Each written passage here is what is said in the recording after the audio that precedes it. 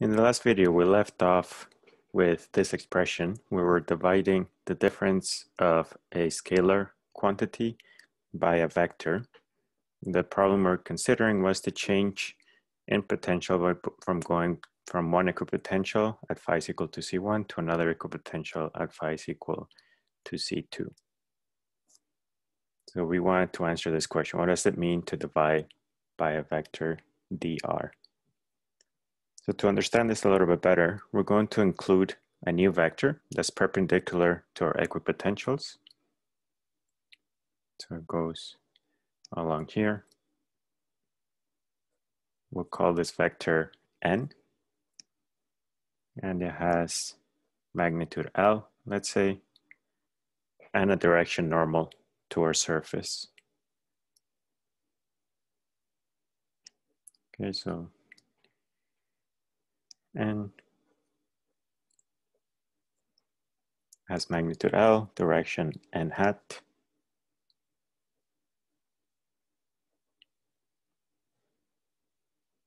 And uh, this is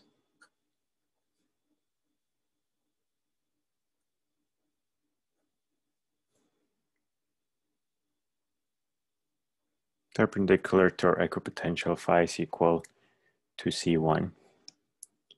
This we'll consider without loss of generality that it makes an angle theta with our original trajectory, dr. So that means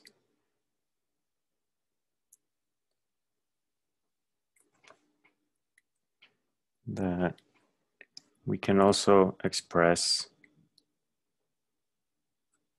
the magnitude of our vector.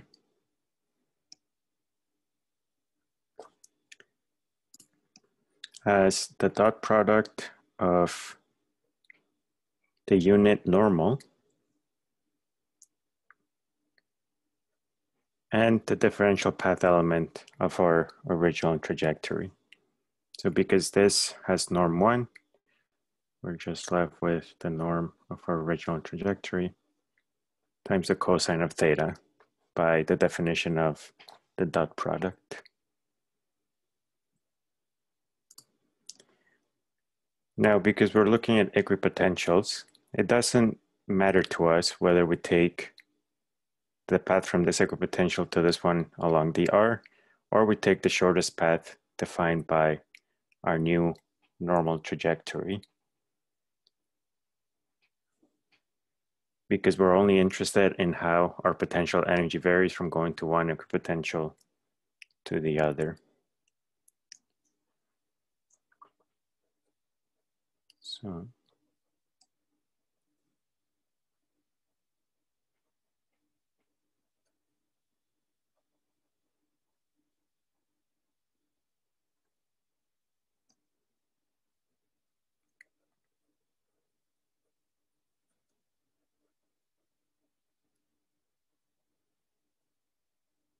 Instead of going from one equipotential to the other along our original trajectory dr.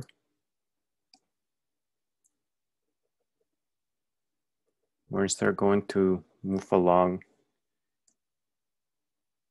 the path perpendicular to C1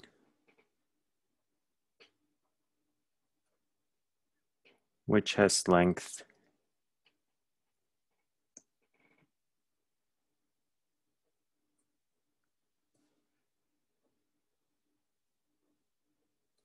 given by this.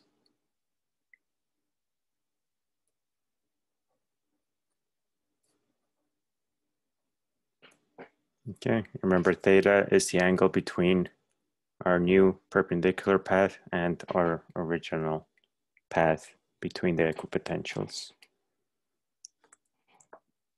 So that means that our change, oops, our change in equipotential is now equal to the change along the normal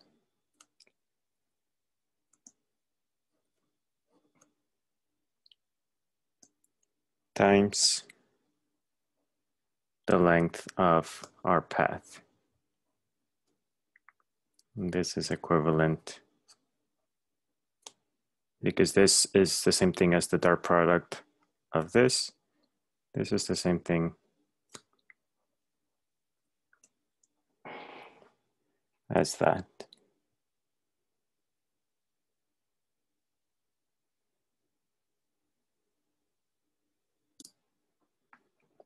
Now, if you remember from our treatment of line integrals, or just from the definition of a change in path,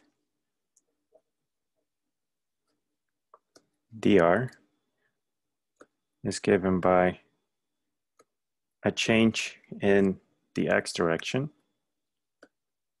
along the vector i hat plus the change in y along the direction of j hat plus generalizing to 3D, I change in Z along the direction k hat. So that means that our change in potential energy, taking this dot product, is equal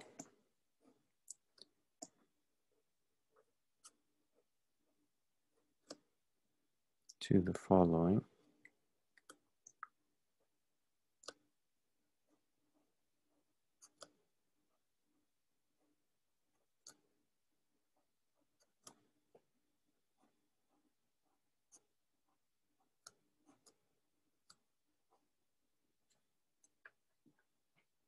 So this expression becomes this. So this is the y component of the change of phi and the n direction in the normal direction. Times our differential change in x plus the change of phi in the normal direction, the y component of that, uh, times the change in y, and then the change of phi and the normal direction, we take the z component of that, and multiply it by our change in z along our path. And now the final question we need to answer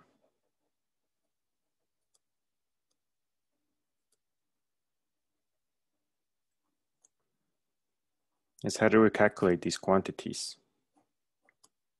For example, the derivative of phi with respect to n in the normal uh, direction uh, for the different components. And if you recall from uh, multivariable calculus, so for a multivariable function, let's say f of x, y, and z, the differential of f, so how much f changes, must equal to the partial derivative of f with respect to x times the differential of x, so the change in, in x. Similarly for the other components, so the partial derivative of f with respect to y, and the partial derivative of f with respect to z.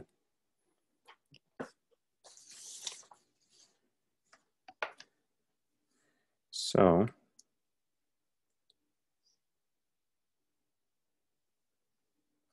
if you compare this expression with our previous one for our potential energy phi,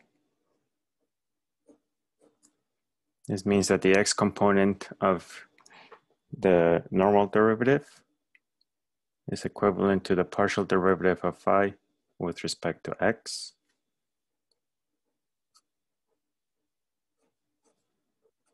The y component is equivalent to the partial derivative of y with respect to of phi with respect to y. And the z component was the partial derivative of phi with respect to z. So what we're left with is our change in potential energy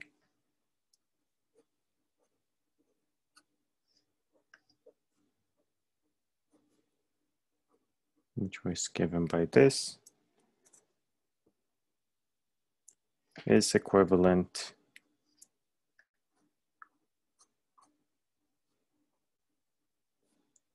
to this expression.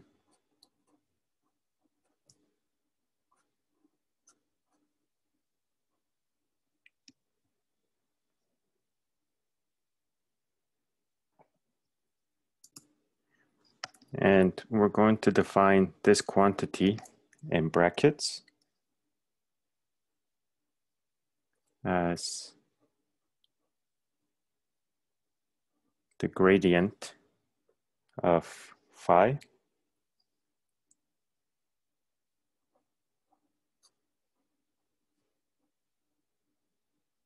So it's the normal derivative of our function phi. And this is commonly written out like this as well. So this is a new operator with, called nabla.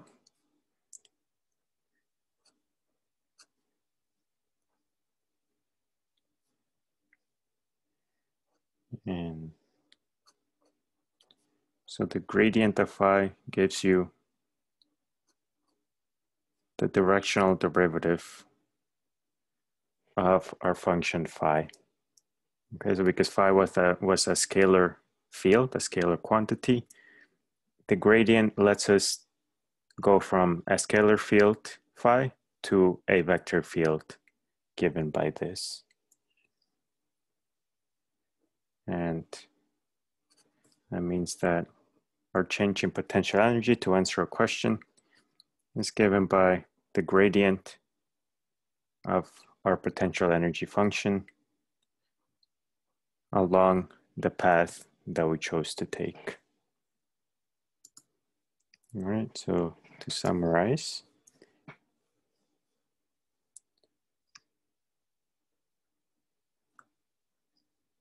Mm-hmm. the gradient lets you go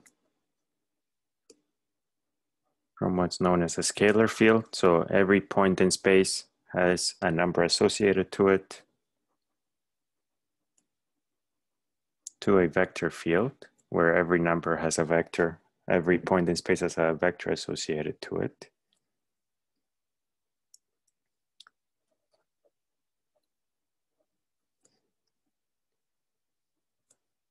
The gradient of phi is perpendicular to equipotentials, also sometimes called level surfaces. And it gives you the direction of steepest descent. So if we had taken the path that was, uh, that gives us the most rapid change in the shortest distance, so the path n that we had talked about before, then we would have found the path of steepest descent. So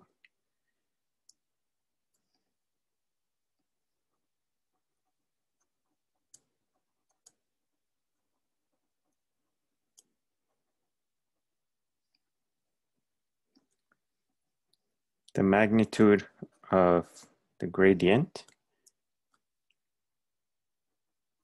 This gives you a measure of the magnitude of change of your scalar field along every point.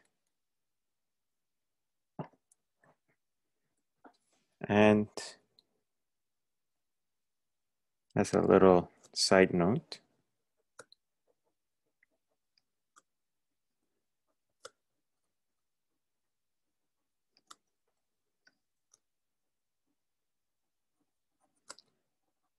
If you want to know the gradient along some curve that's parametrized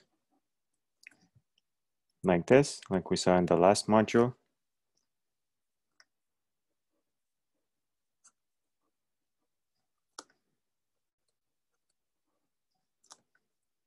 and this is given.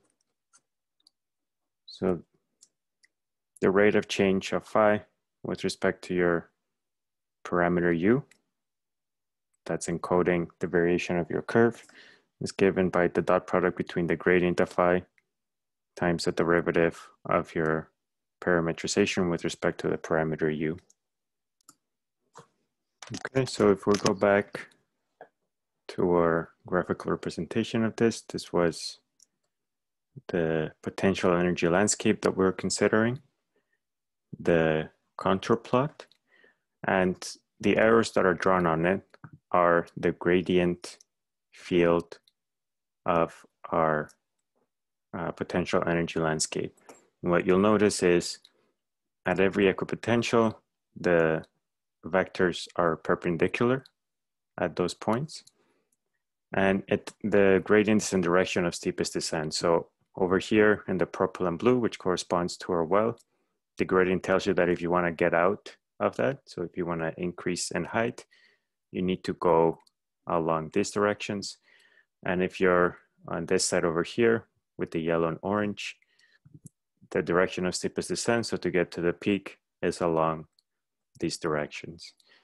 And in the example we're considering in electrostatics, the directions are flipped because we conveniently, by convention, we add a negative sign to this expression. So it just tells you that the electric field will be in the opposite direction of the steepest descent of your electrostatic potential.